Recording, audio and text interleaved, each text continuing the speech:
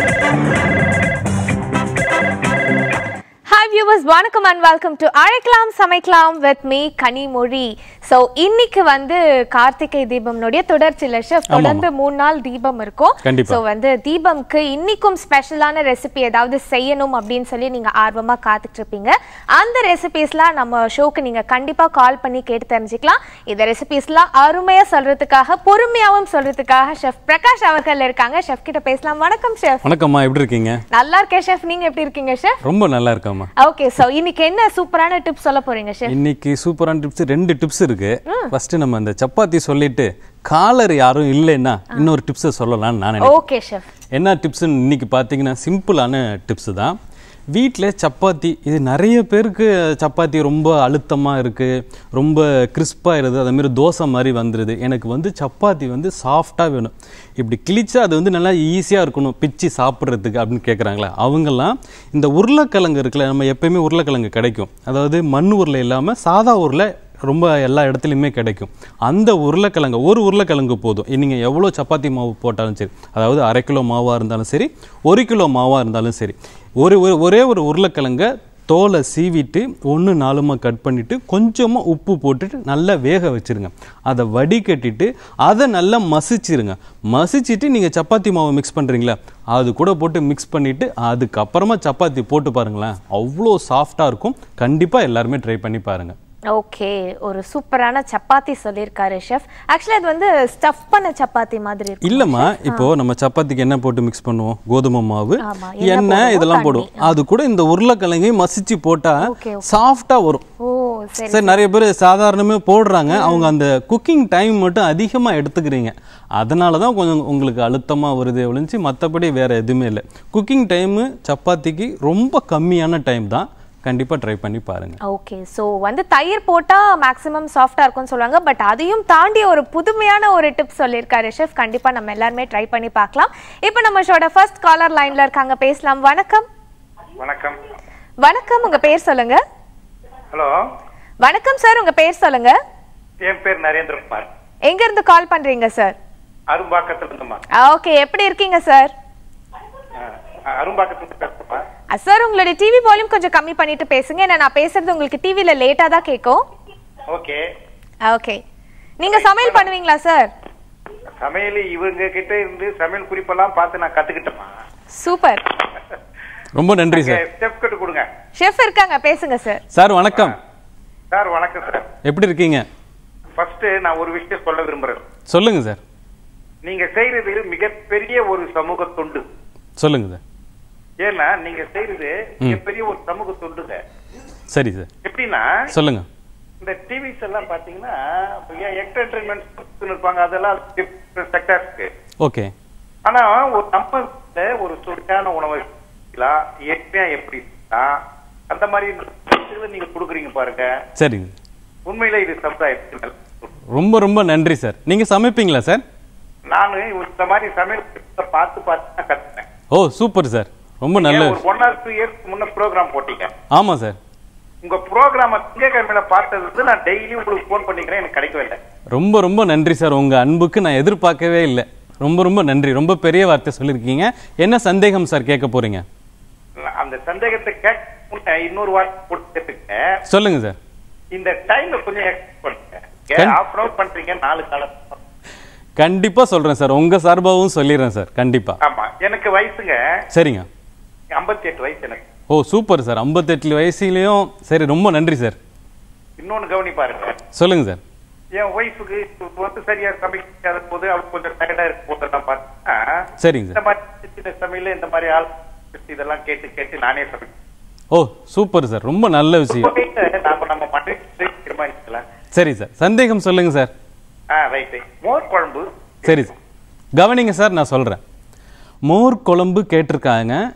நம்ம ஏற்கனவே ப்ரோக்ராமில் சொல்லியிருக்கோம். திரும்பவும் சொல்லுவோம். புதுசாக பார்க்குறவங்களுக்கு செஞ்சு பார்ப்பாங்களே அதனால். மோர் குழம்புக்கு ஒரு தேங்காய் மசாலா. தேங்காய் பச்சை மிளகா காரத்துக்கு தகுந்த மாதிரி. அது கூட ஒரு அரை ஸ்பூன் ஜீரகம். இதை குறை குறைன்னு அரைச்சாலும் சரி இல்லை நைஸாக அரைச்சாலும் சரி. எப்படி இருந்தாலும் பரவாயில்ல. ஆனால் அரைச்சிக்குங்க. ஒரு பாத்திரத்தில் தயிர் எடுத்து போட்டுங்க. தயிர் கூட ஒரு ஸ்பூன் கடல மாவு இல்லைன்னா ரெண்டு ஸ்பூன் அளவு. அதிகபட்சம் ரெண்டு ஸ்பூனு இல்லை ஒரு ஸ்பூனே போதும். அது கூட மஞ்சள் தூள் கொஞ்சமாக கல் உப்பு போட்டு நல்லா மிக்ஸ் பண்ணிவிட்டு நல்லா மிக்ஸ் பண்ணிடுங்க. மிக்ஸ் பண்ணிவிட்டு பாத்திரத்தை நல்லா கொதிக்க விட்டிங்கன்னா திரிஞ்சு போகாது. அதனால தான் இந்த கடலை மாவு சேர்க்க சொல்கிறேன் இது நல்லா கொதிச்சதுக்கு அப்புறமா இந்த தேங்காய் அரைச்சிருக்கோம்ல அதுவும் இது கூட போட்டு திரும்பவும் ஒரு அஞ்சு நிமிஷம் கொதிக்க விடுங்க. நல்லா கொதிச்சதுக்கு அப்புறமா இந்த சைடில் ஒரு பாத்திரத்தில் தேங்காய் நிலை தாளிங்க மோர் குழம்புக்கு ரொம்ப சூப்பராக இருக்கும். கடுகு ஜீரகம் வெந்தயம் உளுத்தம் பருப்பும் சேர்க்கலாம் ரொம்ப சூப்பராக இருக்கும். இது கூட முக்கியமாக இஞ்சி சேர்க்கணும். அதுதான் மோர் குழம்புக்கு. இஞ்சி நீங்கள் நைஸாக கட் பண்ணி போட்டாலும் சரி இல்லை தோல் எடுத்துகிட்டு தட்டி போட்டாலும் சரி ரொம்ப சூப்பராக இருக்கும். கண்டிப்பாக எல்லாருமே ட்ரை பண்ணி பாருங்கள் okay thanks for calling and ரொம்ப ஆத்மார்த்தமா எங்களுக்கு வந்து நிறைய பாராட்டுகள் கொடுத்தீங்க. அதுக்காக ரொம்ப ரொம்ப நன்றி சார் தொடர்ந்து கால் பண்ணுங்க. கண்டிப்பா உங்களுடைய கால் வந்து இணைப்புல கொடுப்பாங்க. தேங்க்ஸ் ஃபார் காலிங் அடுத்த காலர் லைன்ல இருக்காங்க. வணக்கம். வணக்கம் மேடம் வணக்கம்மா. உங்க பேர் சொல்லுங்க. நான் திருச்சில இருந்து பேசுறேங்க மேடம் உங்க பேருமா? பேர் ராஜேஸ்வரி. ராஜேஸ்வரி அம்மா எப்படி இருக்கீங்க? ரொம்ப உற்சாகமா பேசுறீங்க.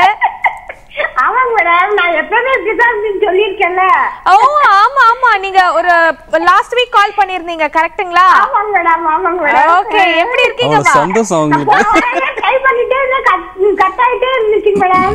அப்படிங்களாம்மா. நிறைய பேர் கால் பண்றதுனால லைன் சரியா கிடைக்க மாட்டேங்குதுன்னு நினைக்கிறேம்மா.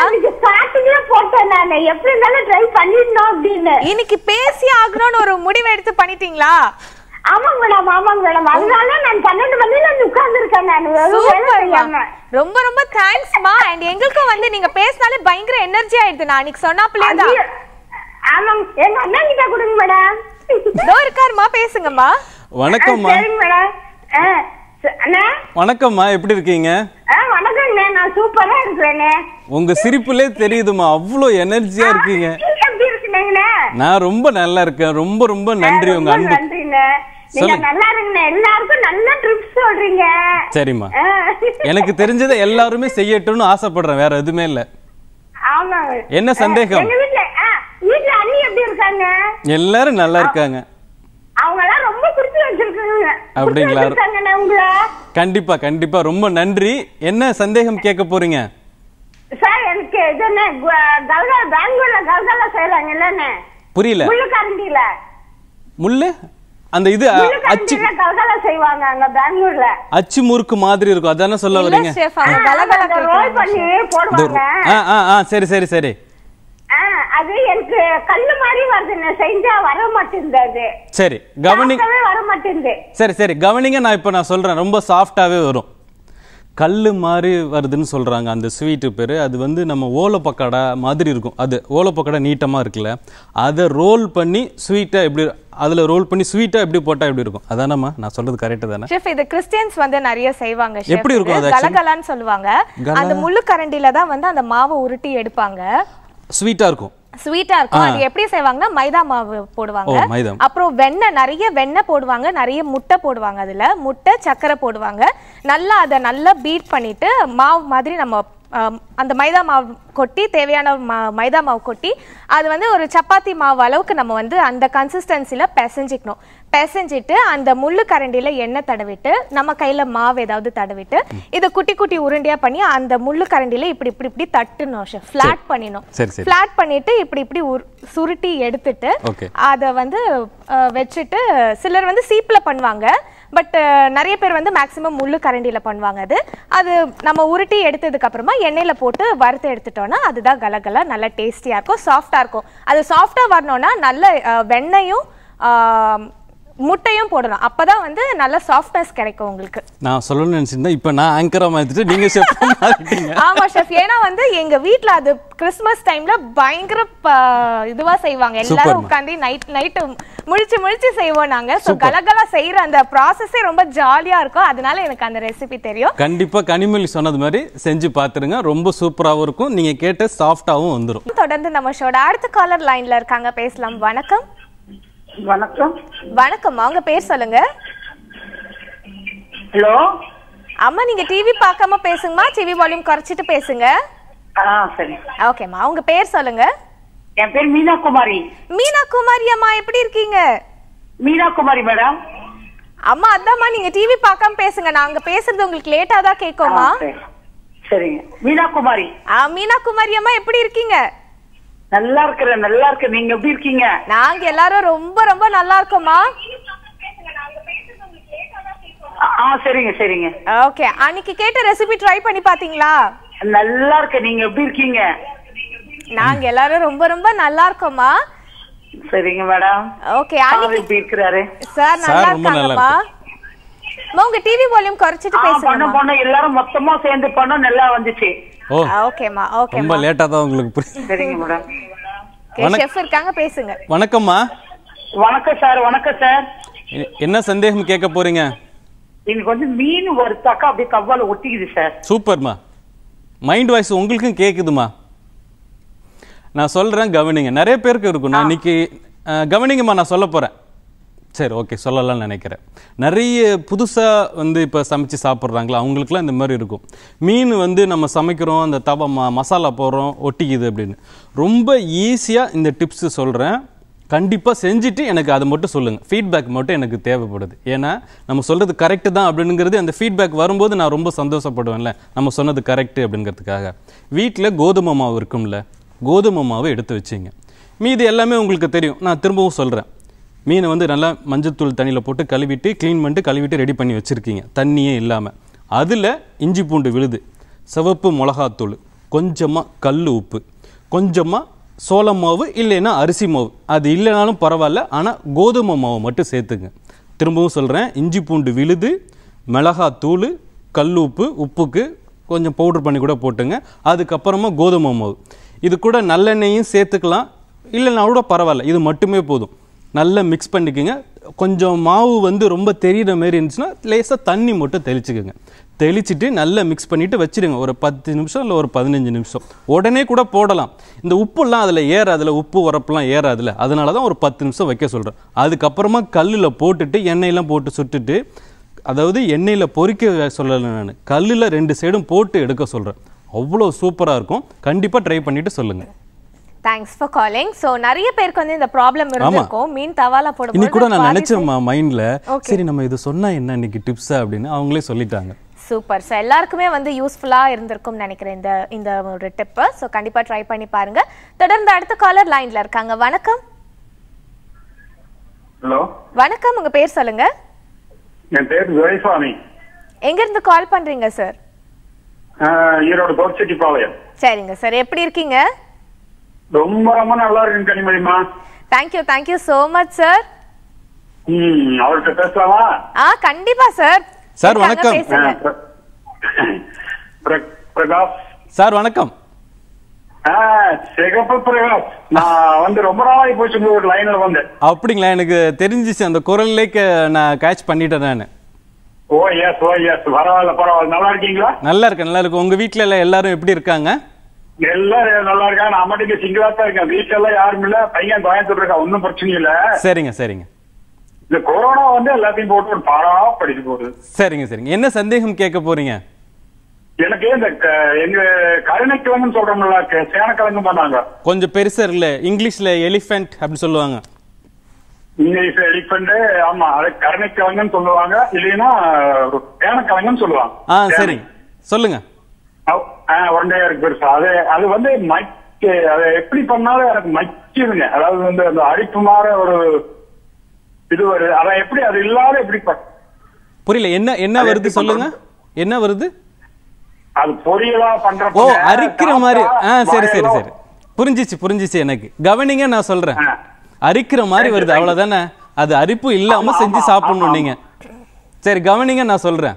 இது கூட என் மைண்டில் இருந்து இதெல்லாம் வந்து ஒரு முக்கியமான டிப்ஸு அதாவது இந்த கர்ணக்கிழங்கு நம்ம சொல்லுவோம் அவங்க சேனக்கிழங்கு அப்படின்னு சொல்கிறாங்க கர்ணக்கிழங்கு நம்ம உணவில் எடுத்துக்கிட்டிங்க அப்படின்னா வயிற்றுக்கு ரொம்ப ரொம்ப நல்லது. ரொம்ப குளிர்ச்சியாகவும் இருக்கும் ரொம்ப நல்லாவும் இருக்கும்.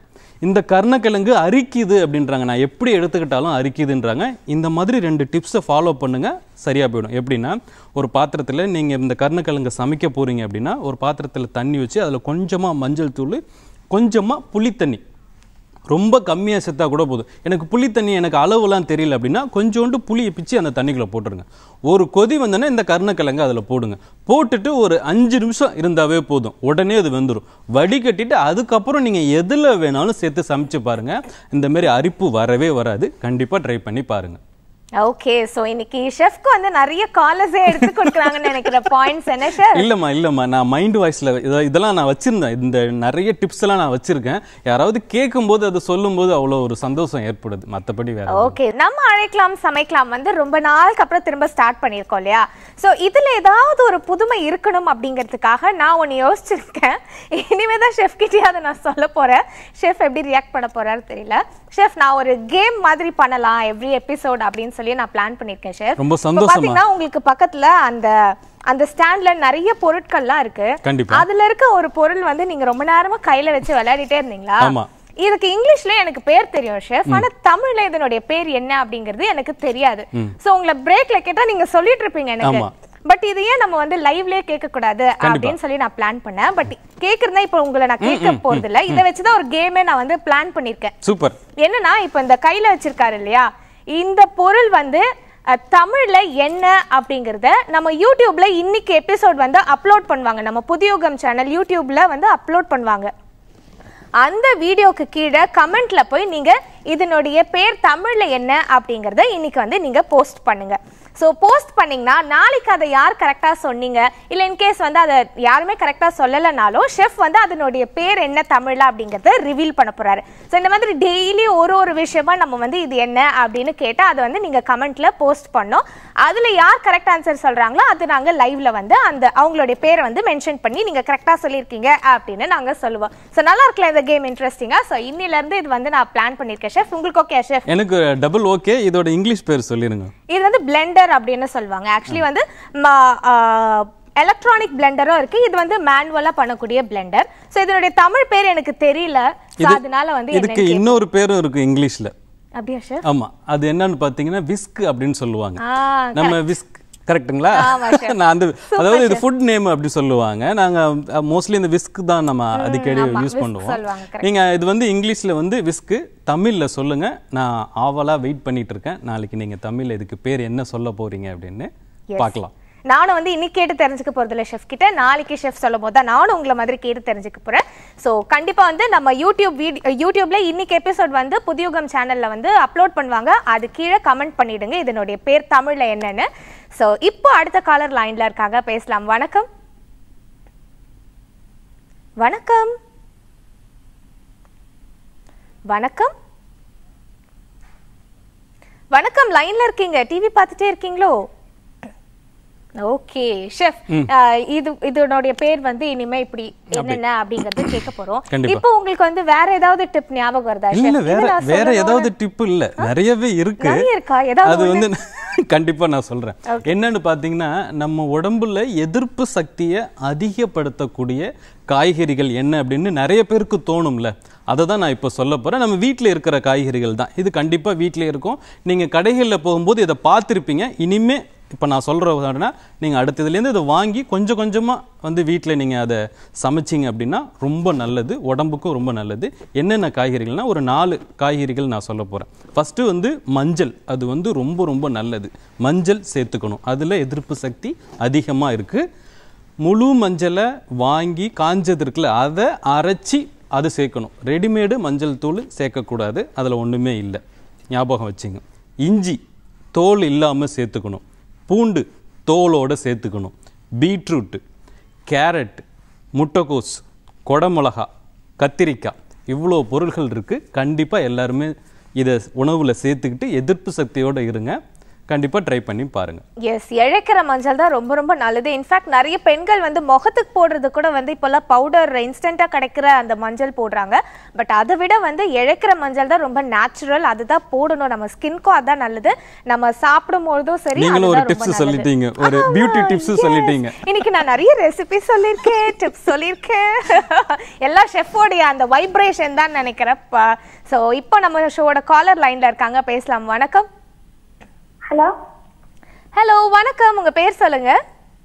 என் பேரு பிரபா. பிரபா எங்க இருந்து கால் பண்றீங்க? நாங்க ஸ்ரீவிகுண்டம். ஓகே. நீங்க படிக்கிறீங்களா இல்ல பெரியவங்களா? ஏன்னா சிலர்லாம் சின்ன குழந்தை மாதிரி வாய்ஸ் முடிஞ்சிருச்சு.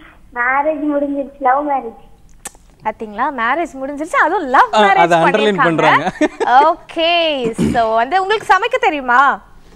ஆ தெரியும். கொஞ்சம் கொஞ்சம் கொஞ்சோண்டு தெரியும். ஓகே உங்க ஹஸ்பண்ட் சமைப்பாரா? ஆ அவங்க சமைப்பாங்க. அவர் சூப்பரா சமைப்பாரா? ஆ அவங்க ஹோட்டல் மேனேஜ்மெண்ட் ஓ அப்ப பிரமாதமா சமைப்பாரு. சூப்பர் என்ன ரெசிபிமா கேட்க போறீங்க? கட்லெட் எப்படி பண்றதுன்னு. கட்லெட் சரி நீங்க சமைக்கிறதுல உங்க ஹஸ்பண்ட்க்கு என்ன ரெசிபி ரொம்ப பிடிக்கும்? சூப்பர் நான் வத்த கேட்கலான்றது குழம்பு வத்த குழம்பு ஓ சூப்பர் ஷெஃப் உங்களை விட வத்த குழம்பு ஸ்பெஷலிஸ்டா இருப்பாங்க. அது என்னன்னு கொஞ்சம் சீக்கிரட் சொல்லுங்கம்மா. வணக்கம்மா. ஹலோ? வணக் வணக்கம்மா எப்படி இருக்கீங்க? நல்லா இருக்கும் சார். நீங்க நல்லா இருக்கீங்களா? நான் ரொம்ப நல்லா இருக்கேன். ரொம்ப நன்றி. இன்னைக்கு என்ன சமையல் உங்க வீட்ல? இன்னைக்கு எங்க வீட்டுல இது மோர் குழம்பு. மோர் குழம்பு. ஆஹா சரிம்மா கவனிங்க நான் இப்போ சொல்றேன். கட்லெட் தானே கேட்டிருக்கீங்க? ஆமா. என்ன கட்லெட் உருளைக்கிழங்கா இல்ல வெஜிடபிளா உருளைக்கிழங்கு கட்லெட் சரிம்மா கவனிங்க நான் சொல்கிறேன் உருளைக்கிழங்கு கட்லெட் கேட்டிருக்காங்க. எல்லாருமே அது வீட்டில் செய்யுங்க. இப்போ இந்த மழை காலத்தில் கொஞ்சம் சூடாக செஞ்சு சாப்பிட்டா ரொம்ப சூப்பராக இருக்கும். உருளைக்கிழங்கு நான் ஏற்கனவே சொல்லியிருக்கேன். ரெண்டு உருளைக்கிழங்கு இருக்குன்னு. மண் உருளைக்கிழங்குன்னு ஒன்று இருக்குது ஒன்று வந்து உப்பு உருளைக்கிழங்குன்னு இருக்குது உப்பு உருளைக்கிழங்கு நீங்கள் வாங்குனீங்க அப்படின்னா நீங்கள் அந்த பதம் வ- வரவே வராது. நீங்கள் என்ன தான் வேக வச்சு தண்ணி இல்லாமல் மசிச்சாலும் அது வந்து அப்படியே லூஸாக தான் ஆகிடும் அதனால் உருளைக்கிழங்கு வாங்கும் போதே நல்ல உருளைக்கிழங்காக பார்த்து வைக்குங்க மண் உருளைக்கிழங்கா. அந்த உருளைக்கிழங்கு பார்த்தாலே தெரியும் அதில் வந்து மண் அதிகமாக ஒட்டியிருக்கும் செம்மண் வந்து ஒட்டியிருக்கும் உருளைக்கிழங்கை வாங்குறீங்க தோலை தான் சீவுறீங்க ஒன்று நாலுமாக கட் பண்ணிவிட்டு கொஞ்சமாக உப்பு போட்டிங்கன்னா சீக்கிரமாக வெந்துடும் வேக வச்சு எடுத்துட்டு அதை நல்லா மசிச்சிருங்க. மசிச்சுட்டு இந்த சைடில் நைஸாக ஒரு மூணு பல் பூண்டு பல்லு தோலை எடுத்துகிட்டு நல்லா நைஸாக கட் பண்ணிக்கோங்க. ஒரே ஒரு வெங்காயம். இதில் கொஞ்சமாக பச்சை மிளகாய் இது மட்டும் கட் பண்ணிவிட்டு வதக்கிட்டு கொஞ்சம் எண்ணெய் ஊற்றி இந்த வெங்காயம் பச்சை மிளகா பூண்டு இது எல்லாத்தையும் நல்லா வதக்கிட்டு இந்த உருளைக்கிழங்குல போட்டுருங்க. மிளகுத்தூள் காரம் பத்தலைன்னா சேர்த்துங்க.